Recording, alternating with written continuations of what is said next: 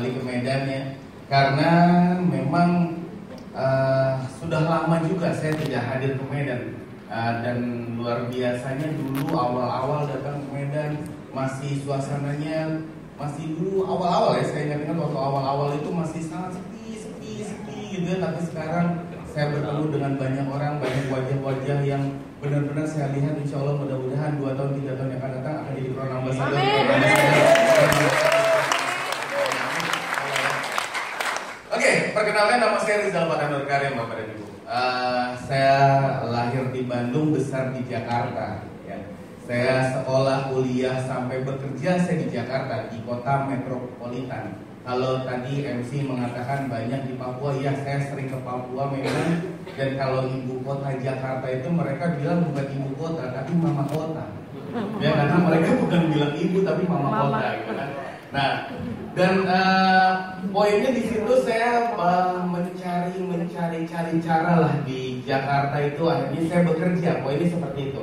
Saya bekerja di sebuah bank asing internasional di situ posisi saya sebagai seorang penjual kartu kredit Bapak dan Ibu. Mungkin di antara Bapak dan Ibu yang pernah ke Jakarta 10 tahun, 14 tahun yang lalu, lah kalau jalan-jalan ke mall itu ya kan, mungkin pernah saya tawarkan kartu kredit itu.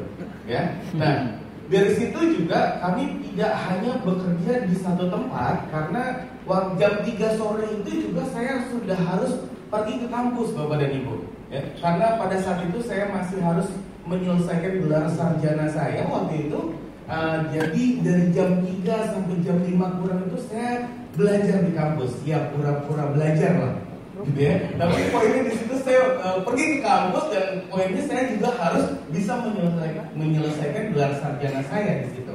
Nah malam hari nggak malam-malam banget sih jam 5 sore gitu saya bekerja lagi bapak dan ibu.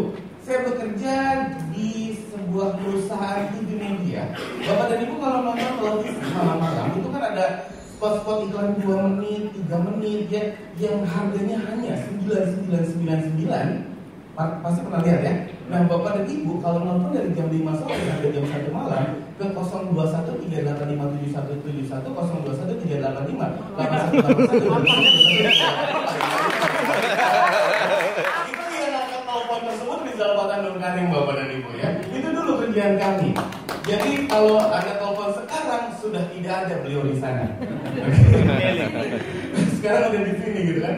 Nah, memang saya bekerja double. Saya bekerja double lebih jam kerja saya 16 jam.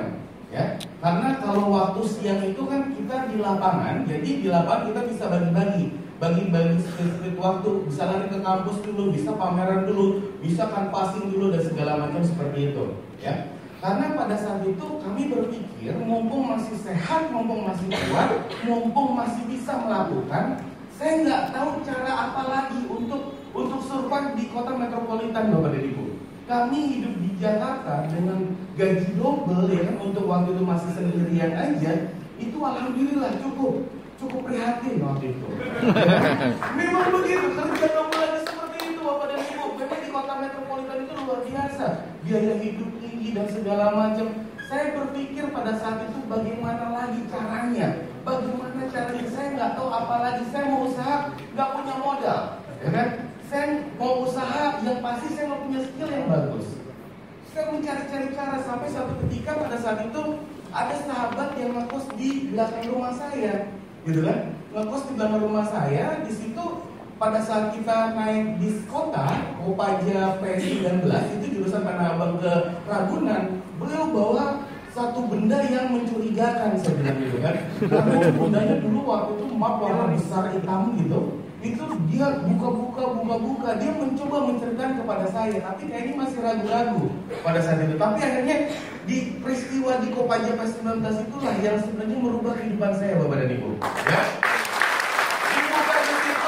Dia cerita dia cerita dia cerita. Saya nggak ngerti apa yang dia ceritakan ya kan? Karena pada saat itu dia cerita tentang bulat-bulat, bulat-bulat, ada produk, ya kan? Belum lagi hasil juta, juta, juta, juta. Saya kan melihat orangnya, ya kan?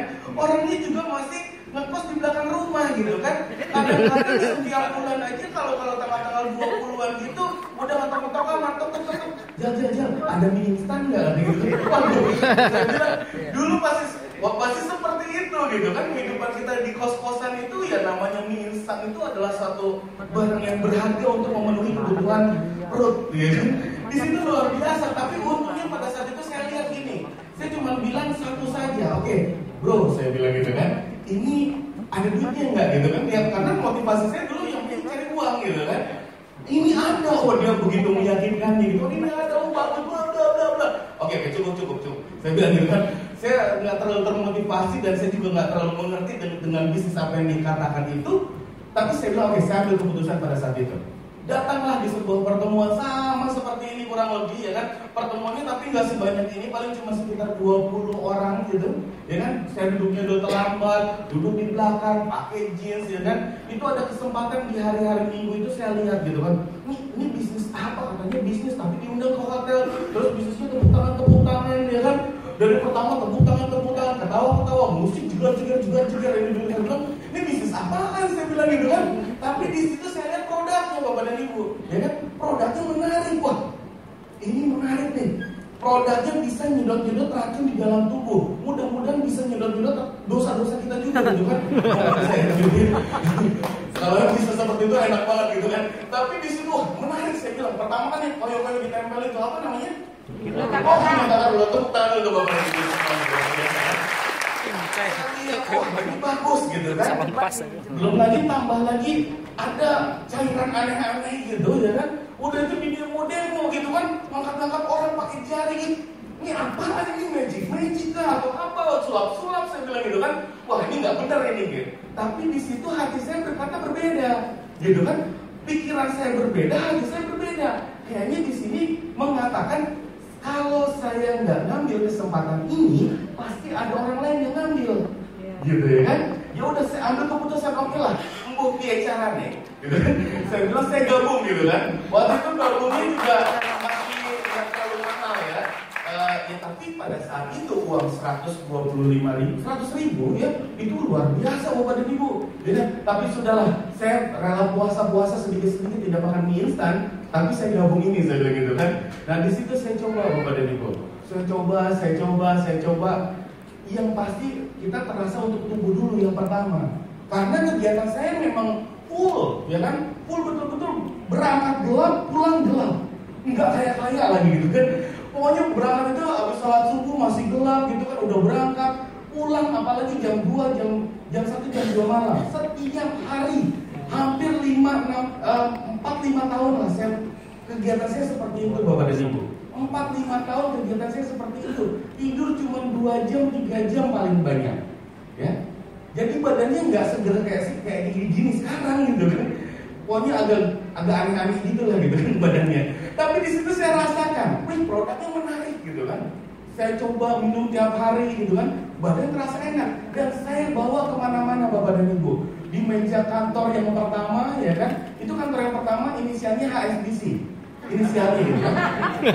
Di Jakarta saya bawa gitu kan. Di malam hari di TV media di DRTV itu saya bawa. Orang-orang mulai bertanya-tanya di situ. Saya belum cerita banyak-banyak ke orang-orang gitu kan tapi orang-orang banyak yang bertanya Jal lo minum apaan gitu nah apalagi kalau misalnya pada saat makan siang makan siang itu kan teman-teman banyak-banyak minumnya tuh kalau nggak teh manis warna kuning atau nggak warna merah gitu kan. Nah saya hijau sendirian pak, gitu kan. Nah dari situ teman-teman lagi, lo air udah kayak gitu diminum katanya gitu kan. Lo pada saat itu masih menakutkan sekali. Ya, air hijau-hijau itu menakutkan sekali. Orang-orang masih banyak belum paham. Jadi lebih sulit kita menjelaskannya sebenarnya. Ya kan? Di situ kita cerita sampai berpusa berpusa. Pokoknya mereka bilang nggak mau. Gue lihat lo dulu katanya. Kalau lo masih hidup besok gue baru mau. Nanti takut juga di situ. Tapi nggak apa-apa. Dari situ bikin saya lebih percaya diri gitu kan minum lagi, minum lagi. Nah di situ mulai saya cerita, ada temen ya kan sakit kepala, saya kasih klorofil gitu kan. Ada orang teman sakit perut, saya kasih klorofil. Sakit gigi klorofil, sakit panu aja saya kasih klorofil. Padahal nggak ada hubungannya sama panu gitu. Nah sampai di situ terkenal lah, oh si Rijal hijau-hijau katanya gitu kan. Rijal tentang obat lah, pokoknya segala macam hijau-hijau lah, nggak sampai kolor hijau aja katanya gitu. Pokoknya udah terkenal tuh dari enam lantai itu semua terkenal Rijal hijau-hijau gitu kan nggak apa-apa buat saya nggak apa-apa nge-branding gitu kan nggak ada masalah. Toh ini saya yang suka dan saya enak gitu kan. Dan I don't care what you say gitu kan. Mereka nggak akan memberikan saya kehidupan lebih baik kok. Mereka mau mengatakan apa nggak apa-apa. Saya nggak ada masalah dengan seperti itu. Saya lakukan terus. Ya. kan? Iya, sering kali kan kita ini terlalu bermasalah dengan orang pikir mereka bilang apa kepada kita, betul apa betul? Ya kan? Emang kenapa gitu loh? Biarin aja yang penting saya suka dan saya juga tidak tidak men- men- apa, membuat mereka sulit, ya kan? Saya lakukan terus, ya kan ke mana-mana lumayan. Dari situ mulai Bapak dan Ibu, mulai ada teman yang sudah mulai percaya gitu kan. Mulai ada yang beli produk gitu kan. Beli satu, beli satu, kadang-kadang beli satu belas gitu kan. Satu logi. Sebel juga pada saat itu ya. Tapi nggak apa-apa. Kalaupun memang dapat cuma lima ribu perak kadang-kadang gitu kan. Eh, pada saat itu cukup lumayan karena saya kan ke mana-mana pakai apa kendaraan paling bagus sedunia dong ya kan. Tong tong tong tong gitu kan. Kadang-kadang udah berhenti badan masih bergetar Pakai Vespa. Oh itu luar biasa, itu kendaraan saya, udah saya suka banget gitu ya kan memori gitu ya Pokoknya setiap saya mendekati seorang wanita, pasti wanita itu kabur pada saat melihat saya bawa kendaraannya apa gitu Oke, nggak apa-apa di situ. Nah, saya pikir dengan keadaan ya apa, keuntungan 5 ribu, kadang 10 ribu itu lumayan untuk beli oli samping. Kan? Pada saat itu oli samping keras kita gitu kan. Pada saat itu juga bensin paling cuma 2 ribu atau 3 ribu perak di situ, ya kan? Ah, di situ oke mulai mulai mulai saya ber- apa cerita lagi cerita lagi cerita lagi cerita lagi. Saya hadir ke pertemuan lagi ya kan pertemuan-pertemuan yang kecil-kecil tapi di situ sangat berarti Bapak dan Ibu. Karena di situ Ya, apalagi kalau kita datang ke acara-acaranya enggak seperti saat ini ya kan. Saat ini kan saya lihat banyak wajah-wajah cantik, wajah-wajah ganteng ya kan yang segar-segar. Kalau dulu tahun 2002, 2003 awal-awal yang datang itu sarungan ya kan. Kayak gini. Ada yang agak gini-gini gitu. Ya, maaf kita bukan ini tapi banyak orang di situ yang datang yang sakit gitu kan dikira ini pengobatan gratis ke apa gitu kan datang itu aduh ya kayak gitu gitu lah ini saya bilang bisnis apa klinik obat apa gitu kan tapi menarik bapak dan ibu berbeda dengan sekarang lah itu tangan betul untuk bapak dan ibu. Eh, yang penting kita terus percaya dan kita yakin. Oke, singkat cerita, kami diajarkan untuk bermimpi lebih, ya kan? Kami harus punya tujuan, katanya. Katanya when the why is clear, the how is easy, ya kan? Artinya tetap semangat yang penting, ya. Kami mau melakukan sebuah impian-impian yang mungkin kami nggak pernah membayangkan sebelumnya. Tapi yang paling realistis pada saat itu saya cuma bermimpi untuk bisa menikah saya bilang itu. Jadi mohon maaf untuk para wanita saya sudah menikah.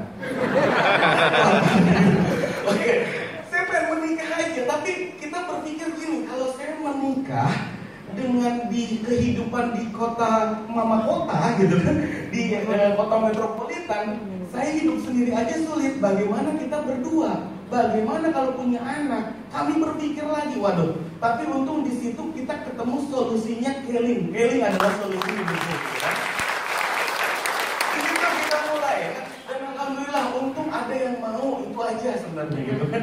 Untung ada yang mau saya nikahin gitu kan dan di situ kami bikin sebuah pesta pernikahan yang cukup sederhana waktu itu. Gedungnya juga di gedung PT IKA di daerah Blok M mungkin bapak dan ibu tahu.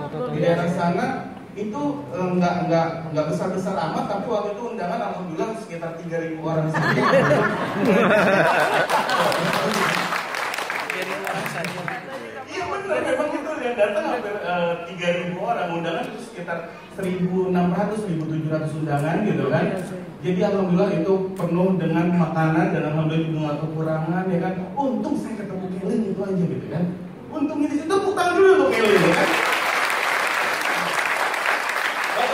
Menikah waktu itu di eh, posisi crown manager gitu kan. Karena di situ crown manager itu singkatannya kan CM ya kan. CM itu calon manten gitu. Lah ya udah oke lah. Nikah lah pada saat itu gitu kan. Istri saya emerald waktu itu ya kan. Sampai sekarang juga masih emerald gitu juga kan situ. Oke, tapi di situ menarik ya kan. Dari situ saya berpikir juga kalau sudah menikah masih tinggal di kos-kosan nggak enak gitu kan. Uh, berisik gitu kan. Terus belum lagi kalau tinggal sama orang tua. Aduh nggak banget nggak gue banget gitu kan. Belum lagi kalau tinggal sama mertua. Waduh ampun ampun malah malah susah bergerak kita kan. Nah, sedangkan kalau udah nikah kita harus banyak bergerak betul nggak pak? Maksudnya apa? Maksudnya apa? Oke, ya benar tapi kan harus bergerak. Maksudnya mencari uang apa gitu loh. Jangan pikir macam-macam udah sore nih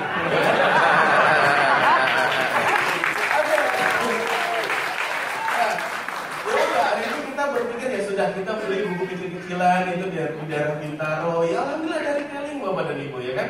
Terus kendaraan juga kendaraan kayaknya nggak enak kita masak ke mana-mana pakai lama lama lama bentar istri saya hamil bisa melahirkan di jalan pak udah lahiran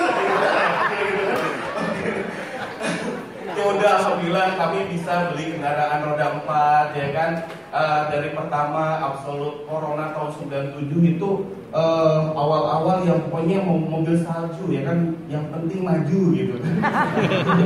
Tapi di situ saya bersyukur gitu. Kan saya bersyukur. Uh, apa? Yang pasti ada perubahan di situ ya kan? Ada perubahan. Nah dari situ kita bisa beberapa kendaraan. Ada BMW, ada Volkswagen, ya, ada Daihatsu, ada Toyota yang ya udah nggak apa-apa, alhamdulillah ada aja di situ gitu kan. Ya, bukan bermaksud sombong atau pamer enggak juga, tapi ya sedikit manas-manasin medan gitu.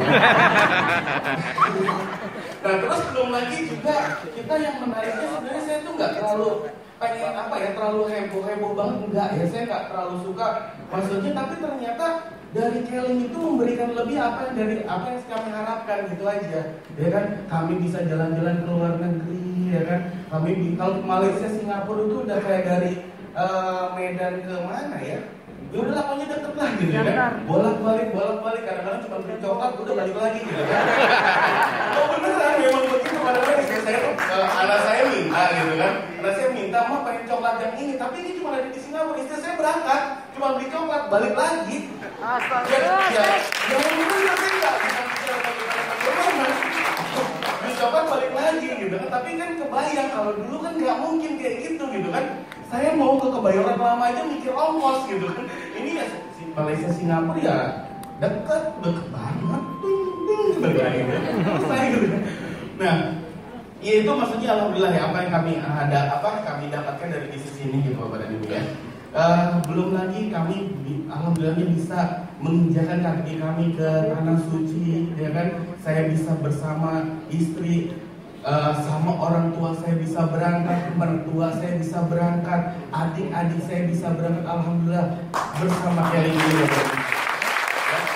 dan yang saya dari subuh sudah itu aja ya kan dari tanah suci dan akhirnya apa yang yang lebih menarik adalah kami terus bermimpi lagi, bermimpi lebih besar lagi, bermimpi lebih besar lagi. Dari anak-anak kecil sekarang anak-anak saya yang pertama baru kelas 3, yang yang yang kedua itu juga baru kelas 1 SD. Nah tapi dari usia satu setengah tahun saya udah kasih masuk mereka sekolah. Dan mohon maaf sekolahnya juga bukan sekolah SD Impres ya, karena saya dulu e, lulusan SD Impres gitu kan. Jadi e, saya nggak mau anak-anak saya kok nggak berkembang banget gitu keturunan kita. Kalau misalnya udah kita lulusan SD Impres anaknya SD Impres juga ya. Kayaknya kan nggak keren banget betul nggak? Jadi ya sudahlah ada dekat rumah itu ada sekolah internasional. Jadi saya kasih masuk mereka ke sana gitu kan. Dari usia satu setengah tahun mereka biaya masuknya aja 40 juta. Ya. Jadi ya mungkin buat anda nggak terlalu besar ya. Tapi ya alhamdulillah bisa kami masuk ke sana. Nah dari usia satu setengah tahun mereka sudah masuk gitu. Dan terus oh ini kan buat saya karena saya sayang sama anak-anak ya kan? Kan bapak-bapak juga lebih sayang ya pastinya ya. Tapi jangan disekolahkan di SD Impres dong betul ya masa kita di SD Impres sekarang di SD Impres juga anak-anak kita.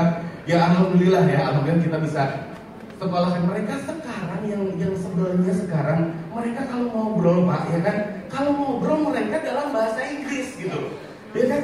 Jadi kadang-kadang saya bilang sebentar sebentar sebentar ah, kamu ngomong apa? Saya nggak ngerti gitu loh ya kan? Tapi nggak apa-apa lah nggak ngerti bahasa Inggris yang penting anak-anaknya bisa ngomong bahasa Inggris ya. Kan alhamdulillah dari kalian juga tepuk tangan. dulu untuk kalian ya uh, bapak dan ibu kalau kita ceritakan apa yang kami dapatkan mungkin sampai nanti jam 3 pagi pun nggak akan selesai-selesai karena ini suatu berkah yang luar biasa, ya kan? Yang penting sekarang kerjanya sederhana saja. Yang penting kita mau cerita itu saja. Ya nggak? Kita mau cerita dan kita niatkan mudah-mudahan setiap langkah kita adalah ibadah. Begitu saja sederhananya. Jadi setiap kita melangkah, kita bercerita kepada orang lain, kita niatkan ini ibadah, kita berbagi, kita berbagi, kita berbagi, kita berbagi, kita berbagi, itu saja. Mungkin awal-awal nggak apa-apa, masih bercampur aduk dengan apa yang kita harapkan. Oke, okay, it's okay, gak ada masalah. Kita manusia, ya nggak? Kita manusia yang penting oke, okay, terus berbagi, terus berbagi, terus berbagi. Cerita. Nah kalau sudah berbagi, ada yang menerima, ada yang tidak, nggak ada yang masalah. Ya nggak? Nggak usah di, apa nggak usah bingung dengan apa kata orang wah kita jadi tukang jamu atau nggak ada masalah. Saya pernah ditolak sama tukang sayur, mohon maaf. Sampai sekarang masih jadi tukang sayur kok gitu aja. Ya. saya pernah ditolak sama orang teman-teman di tempat kerja saya, ya kan? Itu sekarang masih kerjanya seperti itu. Ya. Mereka mencela-cela saya, nggak ada masalah. Nggak ada masalah, mereka ngetawain apa nggak ada masalah. Saya bilang, toh akhirnya apa? Mereka melihat tapi akhirnya pada saat saya datangin lagi pun mereka bilang ah kamu kan beruntung jal gitu kan. Kamu udah duluan ya udahlah. Emang sudah begitu begitu saja saja gitu kan. Nah iya bapak dan ibu kita sudah bawa kendaraan? Kita sudah kadang-kadang mengirimkan kartu pos kalau kalau kami jalan-jalan ke luar negeri. Saya kasih ke sahabat-sahabat saya yang dekat ya kan. Ini saya kasih kartu pos. Nyampe di kantor dengan foto saya lagi ah, gitu kan dengan teman-teman Kelly. Mereka cuma bilang selamat ya Jal, emang lo hebat sih kata. Ya, elah. kita sama-sama maksudnya saya bukan minta saya gitu. Nah, tinggal pilihan aja yeah. sebenarnya Bapak dan Ibu hidup ini adalah pilihan. Karena kalau kita sudah memilih tergantung dari keputusan, ya kan? Keputusan kan kayak seperti ini. Gimana? Gimana? Itu aja keputusan. Ya. Keputusan cuma satu detik tapi bisa berdampak 10 tahun, 100 tahun, mungkin 1000 tahun. Simple. Seperti saat ini, mungkin Bapak dan Ibu ada yang merasa terjebak ya kan? di acara seperti ini, wah gue kejebak nih gitu kan, multi level nih. Ya udah nggak apa-apa, mungkin jalannya Tuhan, betul nggak? Kita kan selalu berdoa ya Allah mudah-mudahan diberikan jalan, betul nggak? Diberikan bagaimana caranya untuk bisa keluar dari keadaan yang sulit, untuk punya kehidupan lebih baik, betul betul? Oh. Tapi kan untuk dari jawaban Tuhan kita nggak tahu seperti apa. Mungkin siapa tahu hari ini jawaban Anda ter apa terkabulkan melalui orang yang menjebloskan Bapak dan Ibu ke dalam ruangan ini siapa tahu? Kita nggak tahu gitu. Ya sekarang kita berdoa yang terbaik saja. Dan yang menarik lagi seperti tadi Pak uh, Setio Dharma mengatakan bisa diwariskan. Bapak dan Ibu, kesuksesan akan berakhir di mana kehidupan ini berakhir. Betul betul. Kesuksesan akan berakhir di mana kehidupan ini berakhir. Ya nggak? Kecuali engkau mengkalkannya. Nah sekarang pertanyaannya, kesuksesan yang seperti apa yang bisa dikekalkan? Kesuksesan yang bisa dirasakan terus kesuksesan di mana kita sukses, banyak orang sukses, banyak mereka mendoakan kita.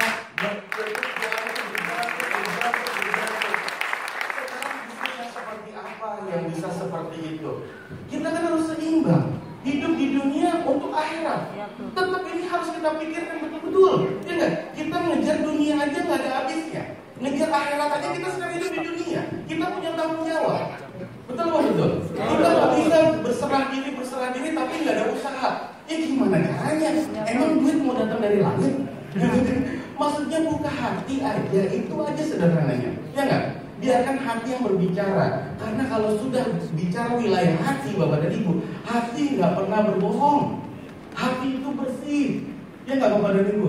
Hati itu bersih udah biarkan Hati itu yang ber berkata dan memutuskan Insya Allah dua tahun, tiga tahun yang akan datang Anda semua akan jadi brand ambassador semuanya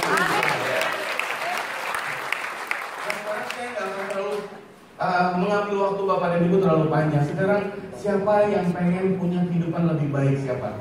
Yang pengen aja, yang nggak pengen jangan tangan Insya Allah mudah-mudahan doa ya. Tepuk tangan untuk Bapak dan Ibu semuanya Siapa yang pengen punya rumah yang lebih baik lagi? luar biasa. Tepuk tangan sekali lagi untuk Bapak Ibu semuanya. Siapa yang pengen punya kendaraan yang lebih baik lagi? Wow, tepuk tangan untuk Bapak Jalan-jalan ke luar negeri gratis. Oh, luar biasa. Siapa yang pengen ibadah ke tanah suci? Luar biasa tepuk tangan semua ya. Nah sekarang siapa yang baru pertama kali hadir di dalam ruangan ini boleh tunjukkan tangannya? Uh, luar biasa. Tepuk tangan dulu. Tahan, tahan. Silakan berdiri, silakan berdiri. Silakan berdiri yang baru pertama kali hadir. Wah, luar biasa. Lambaikan tangan bapak dan ibu. Lambaikan bapak dan ibu lihat kiri kanannya, kiri kanannya luar biasa. Dan saya undang bapak dan ibu untuk berada di atas panggung sini.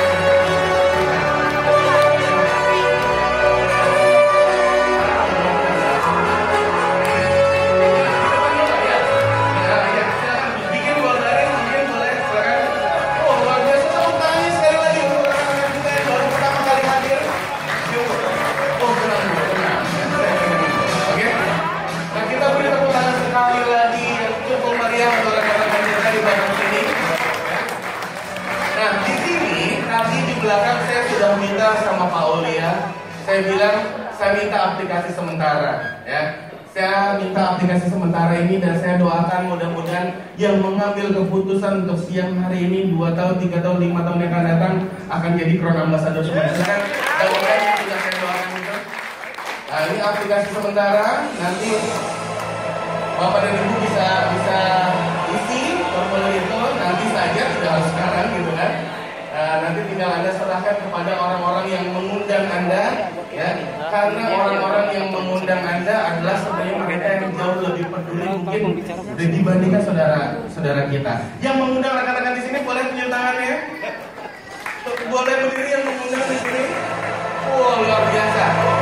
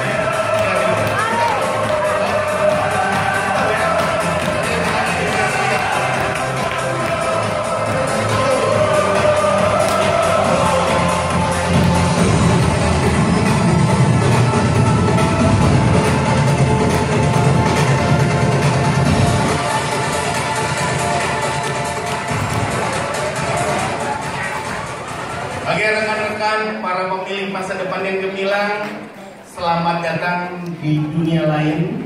Oke? Enggak, kadang-kadang dunia lain kita bilang dunia yang tidak nyata dan kadang-kadang dunia nyata dibilang dunia lain. Kita nggak tahu ya kan? Nah tergantung dari persepsi masing-masing bapak dan ibu semuanya. Yang pasti insya Allah mudah-mudahan kita sama-sama sudah menjadi keluarga Keling nanti dan insya Allah juga sama-sama semua yang ada di dalam ruangan ini from the bottom of my heart ya kan artinya tetap semangat oke okay? oke okay. yang penting saya doakan mudah-mudahan bapak dan ibu semoga akan menjadi peran ambasador peran ambasador peran ambasador sampai ketemu di panggung kemenangan selanjutnya sukses untuk kita semua assalamualaikum warahmatullahi